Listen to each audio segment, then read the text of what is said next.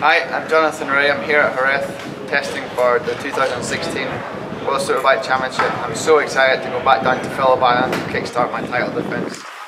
So grab your mates, get online, book your tickets. It's going to be a scorcher.